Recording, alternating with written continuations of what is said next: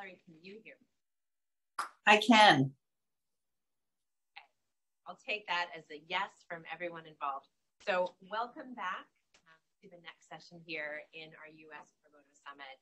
I am so thrilled to be able to kick us off together in this session today and in our true hybrid capacity and having our panel, as happens in COVID times, being split up and being both in person and on our screen here. And again, a tremendous thank you to AIG for helping us make sure we had the technology to make all of this possible. This is Talent Development and CSR, a game-changing partnership for impact.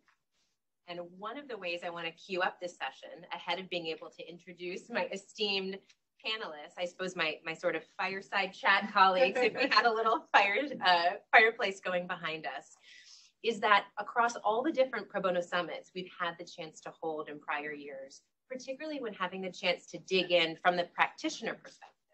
So from the source often of volunteers, either on the corporate front or from other intermediaries, one of the questions that comes up time and time again are what are ways that we can help ensure that pro bono service programs can become more deeply embedded, can become sustainable truly within this ecosystem of the work, and can improve and grow over time. And when you pose that question to someone within a business, they will almost always say, Oh, that's the exact job description of our fill in the blank name of the department, our people and culture department, our human capacity function, our human resources function. There is so much opportunity when we can think about this type of programming not just in a particular department, in a particular box, in a particular set of parameters, but starting always first and foremost from the needs that we are all partnering together to support and address, and then putting together the building blocks that can make the most effective and impactful and connected programs happen. So if we had the chance to have a combined sort of raising of hands in the room and online, which I won't force you to do both virtually or in person, one of the things we also typically have asked in the past is within any given company, what is the relationship between HR and CSR? And when we have actually asked that question in surveys before, we generally find the answers fall across two poles on opposite sides. One is that there's actually an acrimonious relationship because these functions have largely been pitted against each other within a company to compete for what is often labeled as discretionary dollars.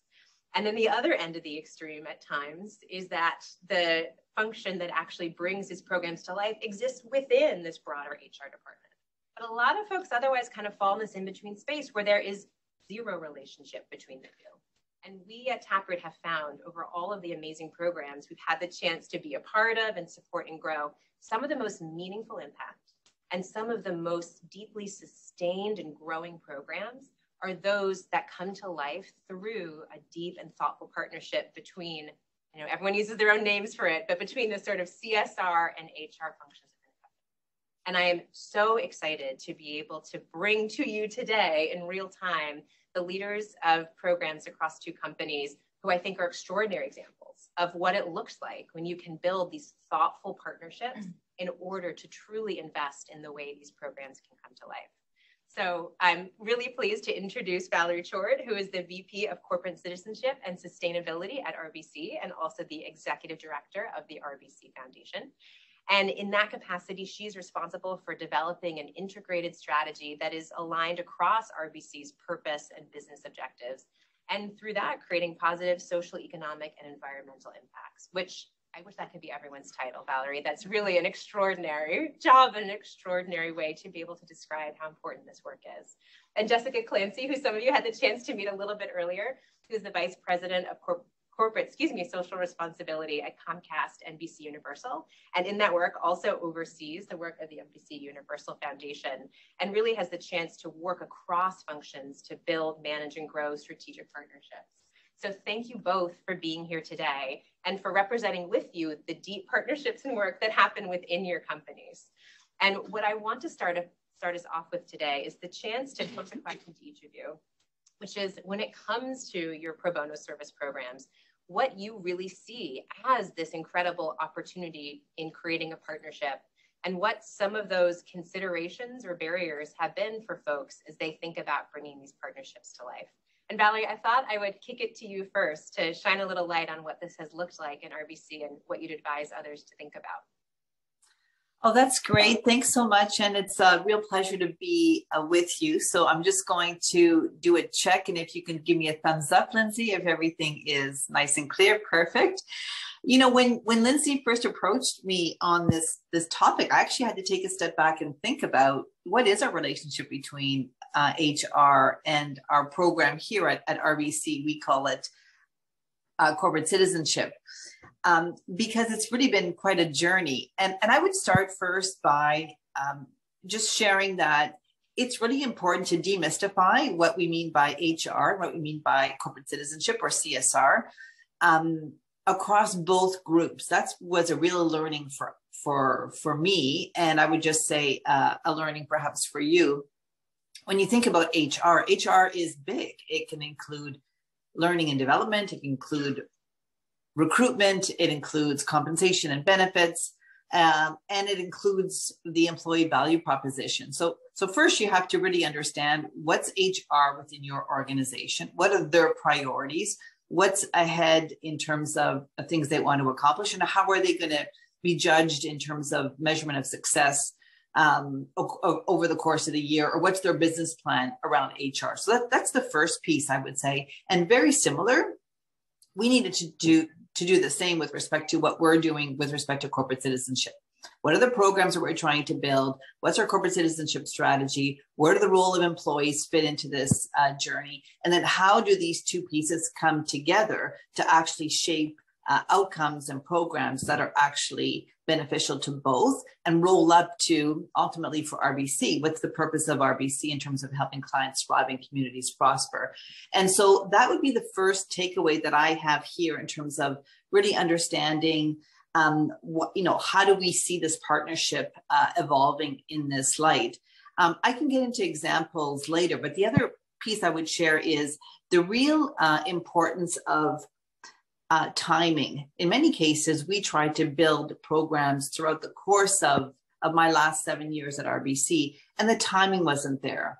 So, you know, currently at this stage, we're really uh, double, um, HR is really focusing on the employee value proposition and the employee brand. So at this point, we're shaping some of the programs that are aligned to that specific uh, area about two years ago, they started focusing on uh, leadership development. And then we thought that these were real opportunities for us to work together in terms of what is a social impact leadership development program? How could that um, accentuate and roll up and deliver on some of the uh, programs and priorities that HR needed to do? So I've got loads of examples on this, but my first uh, takeaway is better share and communicate what each of your business uh, imperatives are and how do then um, how do you go one plus one equals five uh, not just one plus one equals uh, two or less than two in that respect i love that i think demystifying what each function within the business does and what really defines success, what they're held to, what they're aspiring to do. There's so much potential there when you can really come to that shared understanding and then dig in and, and build something from there. So I'm excited to get into and have more of those examples shared. But I want to pose the same question to you, Jessica. What has this looked like? Um, what have you learned within NBC Universal? Thank you for having us. Um, so uh, what's very unique about NBC Universal is that we agree with our HR function. We actually affectionately call it the Talent Lab, but for the purposes of this conversation, we can call it NBC University. Um, but we agree that um, inclusive leadership, empathy, cultural competencies are the traits we want to see in employees. And so that is well known throughout NBC Universal and throughout our organization. So, from a CSR perspective, it actually was a beautiful partnership because we knew going into the conversation that that is a priority of the company and that's a priority for employees. And we were able to bring our talent lab programming like pro bono and others that we felt like accelerated those leadership characteristics. And so I think really defining and understanding what are the competencies that your HR group wants employees to um, invoke at your organization and how in our in our example you can use service as a way to accelerate that and so we've been able to build out a stream of programming that really leans into that ethos Um, but one thing Lindsay and I were talking about, which I, I, do think is worth mentioning, is that before we had the talent lab at NBCU, um, actually the idea for skills-based volunteering originated out of HR. Um, and it originated with sort of a really rudimentary program called HR for Good, um, which is exactly what it sounds like and was probably more of your traditional program that still exists today in some capacity, but was very much our HR employees wanting to give their skills back to the community and doing so through pro bono consulting. So having that to build on and to kind of build our ecosystem of pro bono has been really helpful because we had sort of that initial buy-in about where it started and that came from an executive leadership position. So but I think NBC Universal is very unique because the talent lab in its own right is both a physical space and a stream of programming and a set of principles that we all agree on. And so we're able to build around that. I love that example in particular, too, because for folks who are here with us today, coming from the corporate side of things, if any of the initial examples I shared with you resonated with you about needing to kind of thaw out what might be a challenging relationship or a non-existent relationship between the sort of CSR and HR function to actually have folks from within that function be among the first to pilot engaging in pro bono service can be an incredibly meaningful opportunity yeah. and accelerate in some mm-hmm. cases that that pathway towards bringing this to life. So I'd love now to start making this real and jump into some examples. So I'm going to kick it back over to you, Jessica. Yeah.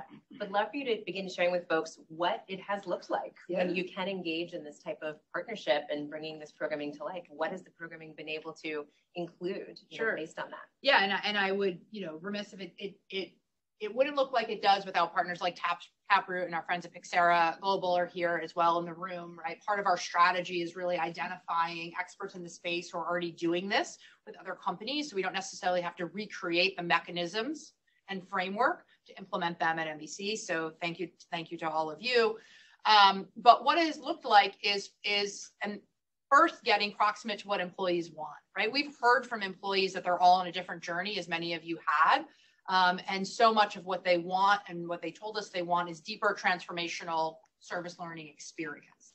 And so um, we've been able to take that nugget and uh, build out a, a, suite of pro bono programming at, at NBC Universal that really meets employees where they are in their journey, right? We have 30,000 plus employees. Of course, everybody's on a different journey. Some of them don't want to be on a journey with us at all, and that's fine. And then some of them want to be really deeply engaged. So we have three programs to date that meet employees where they are. We have our sort of more traditional half day consultation program. We have a business led pro bono program. And then we have our, you know, I call it our Cadillac version, which is our talent lab. And that is a program in which um, employees who employees are nominated to the experience and it is a learning and development and service experience.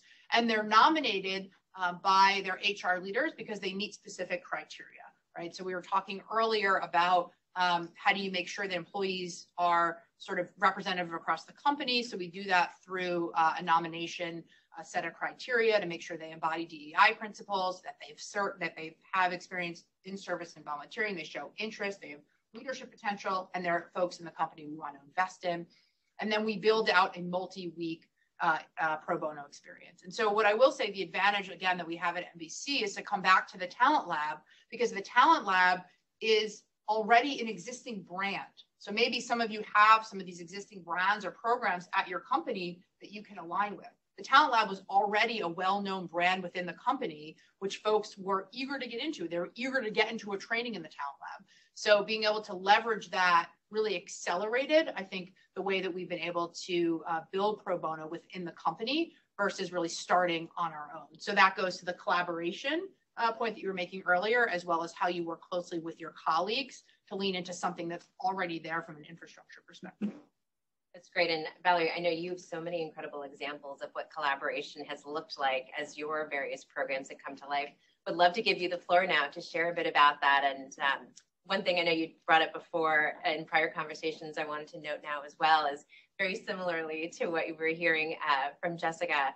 There is so much space and opportunity for learning, for development in the experience of this work, but always, of course, starting from the shared philosophy that with this service, you are bringing the capabilities to the table. Folks are bringing the skill set, that specific match, you're being nominated for the right fit and now the ability to be able to enhance and lean into different competencies in a new and different environment, um, in a different setting, can bring so much uh, added experience there. So, Valerie, would love to kick it over to you for some of your examples. Well, I wanted to also kind of ground this in terms of, know, where does this program belong as part of our broader corporate citizenship strategy? And about seven years ago, we decided that we needed to revamp that strategy.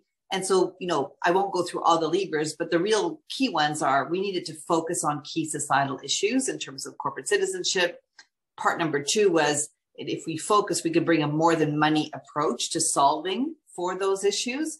And the third was really uh, ensuring that we were developing an impact measurement framework so that we could hold ourselves accountable uh, in this light. So with these three pillars, and if you take pillar number two in terms of a more than money approach, a real lever in our more than money approach was our talent. We needed a commitment to make it really easier for our talent to uh, get involved and contribute to the broader social impact that we were looking to achieve. So that was the context in which with we actually continued to evolve some of our programming. And the one that I'll talk about, actually two of them. The first is, is Ignite. And that is a program that is shaped to really grow talent, uh, our BIPOC talent, and provide them with a um, kind of uh, bespoke uh, opportunities in this regard. And the other is related to a social uh, impact leadership uh, program. So we call it SILP. And in both of those cases, uh, the opportunity is to, again, in both cases, employees are nominated to participate in this um, in this program.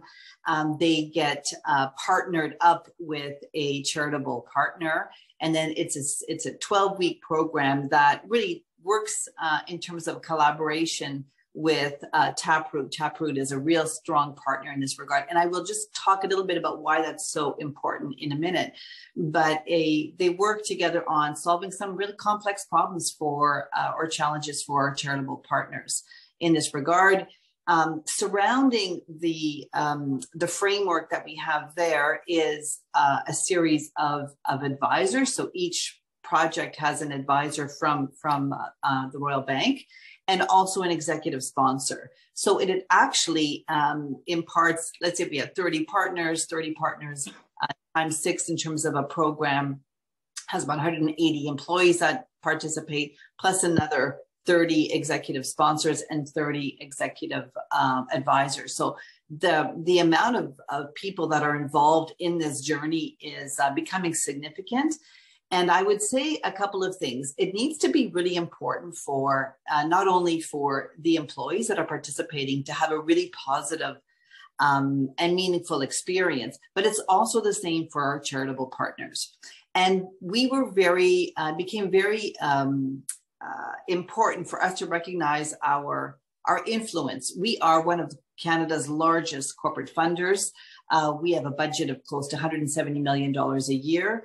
And we just felt that in some cases, when we were inviting our partners to participate, they kind of felt like they had to submit a project or do something in this regard. And that was not going to lead into a really positive experience for both our uh, the partner and also the uh, the employees that were participating. So we made it really clear that this is, um, you know, the submission of a of a project was really key, and that we needed to have uh, a person or a partner that would really help make sure that the partners understood what they needed to sign up for. You know they needed they needed a project manager. They needed to be sure that the the, the project was was very well defined um, that they were committing to the 12 weeks because you've got a group of six people who are looking to deliver on on on the commitment as well so that kind of relationship really needed to be done uh, well and then we needed to make sure that we were really clear with respect to what were we looking to achieve for both the uh, the social impact, but also the leadership development opportunities. And then we partnered with a few other um, people who are also rounding out the leadership development program to fulfill some of those expectations as well. And then at the end of the, the session, we then close it off with really a deep dive to for the lessons learned from the charitable partner, but also with respect to the advisors and then the also the the employees that have participated. And that's really helped us you know, course correct and improve the program uh, overall. But I would just say at this stage we have a, a, waiting list to get on the program because it's become so much pop so popular, and people have really felt that they've um, really gained a significant amount of both leadership uh, opportunities and capabilities and skills, but also a real uh, enhanced visibility of the social. Um, the not-for-profit and charitable sector and many people just don't really have real visibility of getting under the hood and seeing what really happens and how do organizations really uh, evolve so uh, that's kind of our, our program in, in a nutshell and i can uh, answer some more specific questions as, as needed one i think great segue from there and i want to have the chance to pose this question to both of you as well is thinking about how this programming has also been supported by and is in support of the overall purpose and culture within your company. One thing that I think is both so representative of that, but also seems to be a core contributing part of that as well from your examples too, Valerie, is the depth of that executive presence and involvement. The commitment of having advisors in addition to participants on teams speaks so clearly to the dedication internally to this programming and not just as a program in and of itself, but for how deeply it also relates to the overall purpose and mission and focus of RBC. Can you speak a little bit to how this programming and work has been able to be so deeply connected to the company's culture overall? Well, it's definitely connected to our, it's just part of the culture. I, I actually just didn't believe that that was the case when I first joined um, RBC. I came from, from Deloitte and Deloitte has, uh, you know, a, an unbelievable culture as well, but there's just something different with respect to um, I would just say that the closeness of of RBC in community, and if you kind of think about the history in a Canadian context, it's a little bit different in the U.S. where we have more of our capital markets and wealth management uh, businesses, but in um, in Canada, you know, the history of, of a bank is being in community. You've got a branch, like you are in community because you belong to that community. And so that, that relationship is really, really close. So it's just already part of the culture uh, would be point number one. But I would just say if you look at the Edelman uh, belief driven um, survey, uh, I just feel like it, there is a moment in time where we really do have an opportunity of engaging our employees uh, in a different, more meaningful way to really rebuild or build a sense of belonging in a way that um, really, again, adds value to society, but also adds value to, to the company as well. So it's becoming more and more evident that you know employees expect um, companies to to take a stand where a stand needs to be uh, taken to um, lead with intention and authenticity.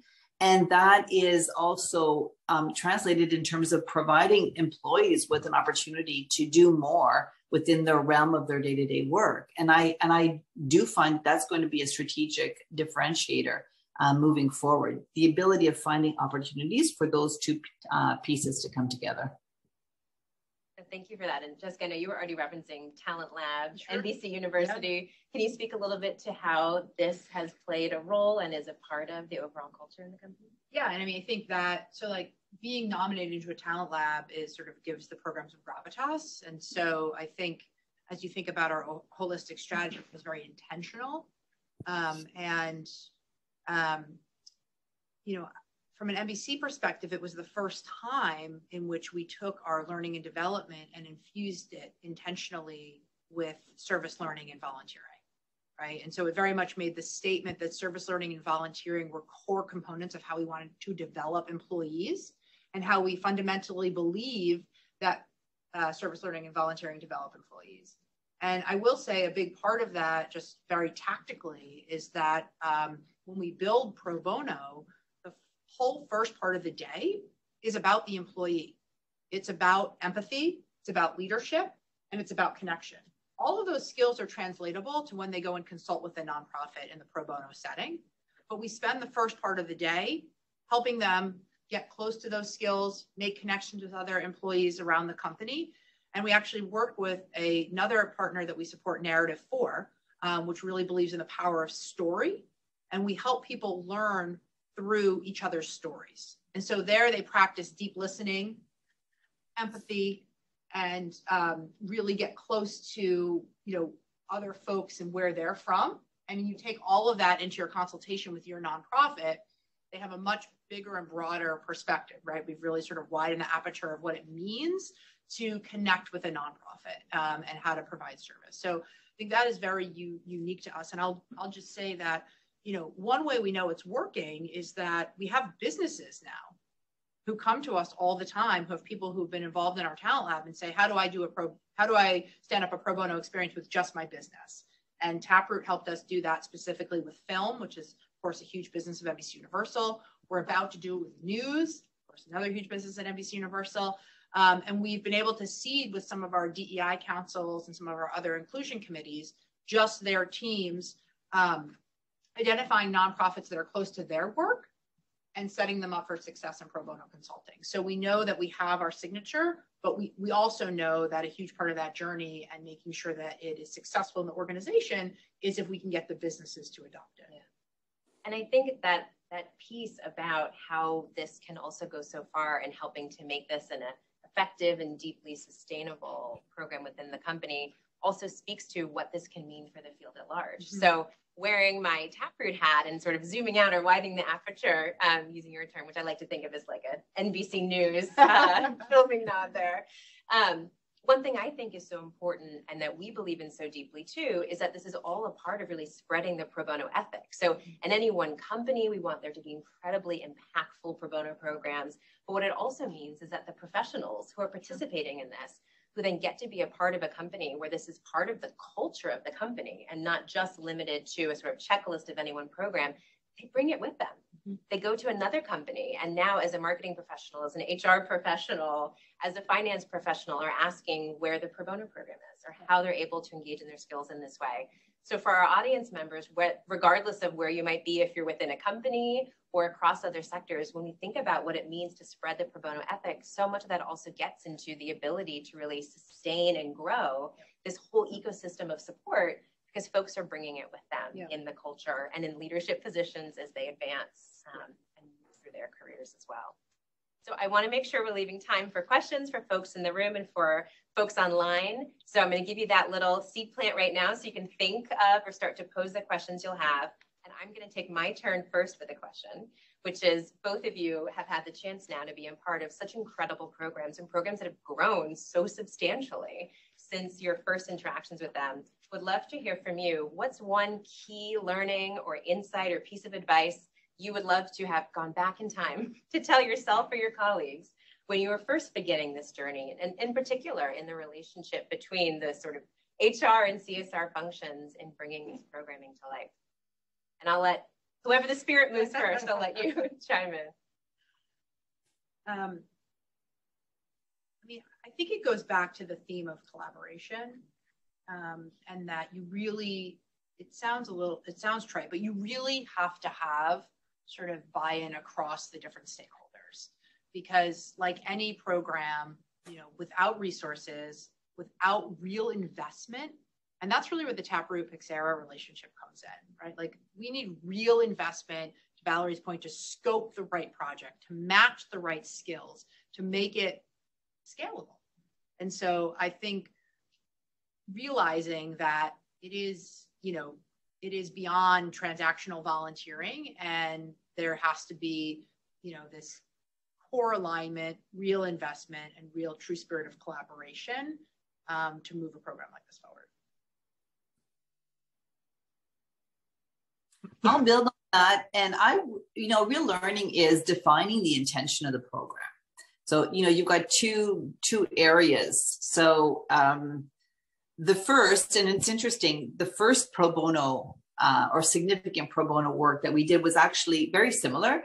It didn't come from HR, it came from our strategy um, team. We've got an internal strategy team uh, within the bank, and they said, "Oh, you know, we we'd love to be able to to take our strategy knowledge and apply it to a charitable partner." And so they we helped them. We did a first matchup, and then we used that as a as a, a learning uh, in terms of uh, you know rolling out the program and building it and, and expanding it and also getting you know developing the business case to do so so i think that was um, just just building on that a lot of this insight and innovation often comes from within and you and you just have to find ways of of incubating it and and growing it and being the voice of, for that. So that just one one point there. But the second point is, yeah, define what the program's intention is. Is it to deliver social impact and to grow and provide value to the charitable partner?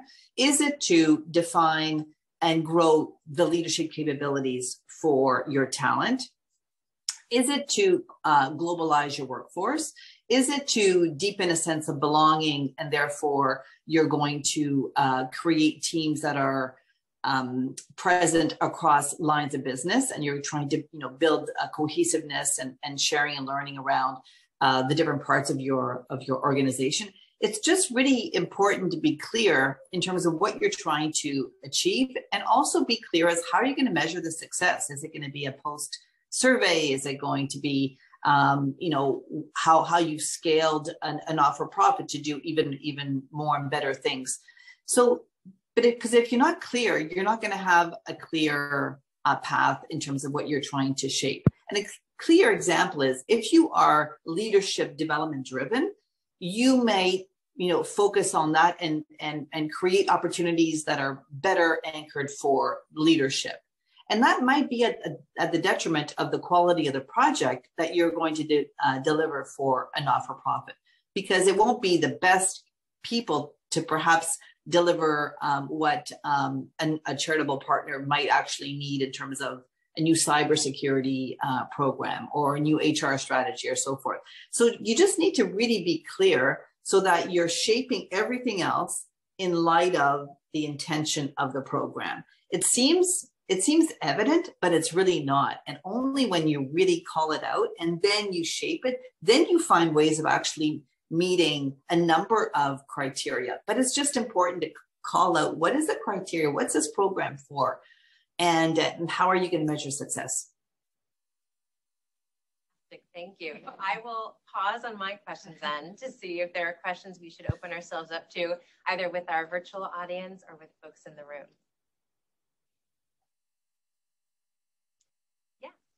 Ask your question, then I'll repeat it back on our uh, yeah. loud mics here. I'm Josh Koenig with the Thomson Reuters Foundation. I think both of the speakers, I'm just so impressed at the really innovative ways that you've integrated HR and CSR. And I'm wondering kind of about the elephant in the room, which is ESG, which has really been growing, I think, in organizations. Where are you at in your journey in terms of integrating that as another team and function organizationally that really intersects with your CSR work?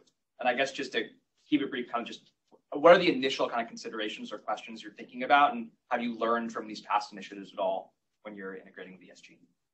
So, uh, for those who wouldn't have been able to hear it quite as easily, starting thoughts on ESG and how you're seeing um, that opportunity for integration, for overlap. I'm overly paraphrasing.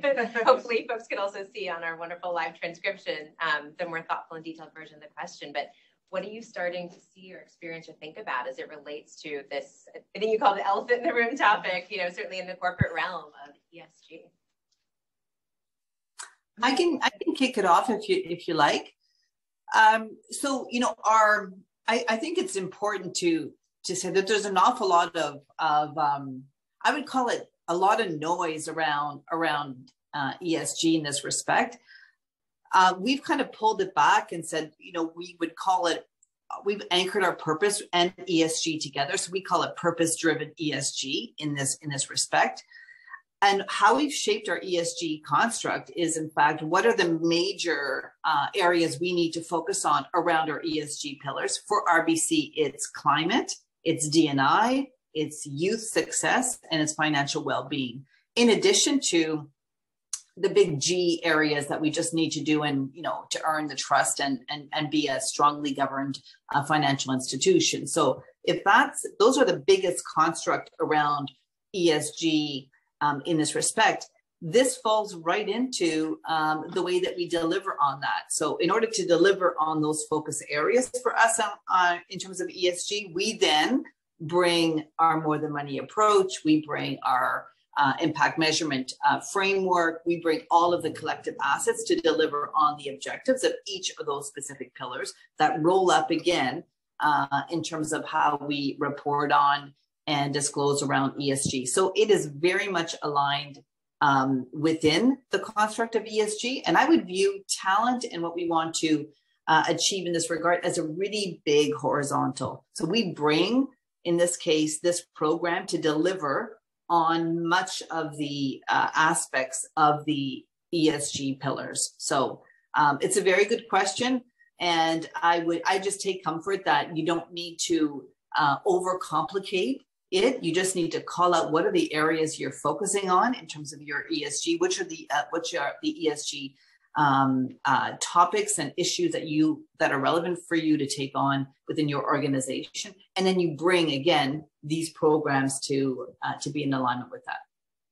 To use your word uh, from an earlier question, it sounds like this is another really valuable area for that demystify step to yeah. add so much value because once we break it down from the letters to the actual needs, the goals, the substance, and you start to see where different initiatives already overlap and align and, and then also too i'm sure where there are gaps and where there's important opportunities as well.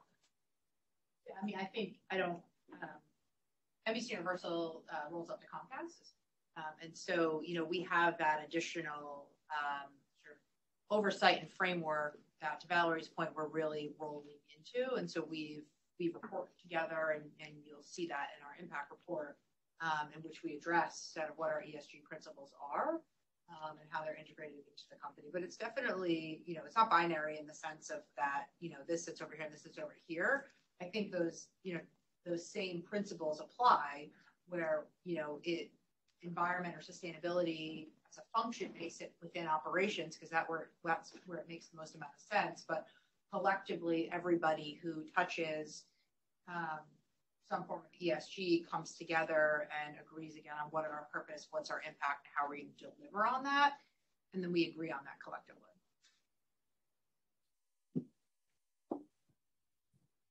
I don't think we answered the second part of the question.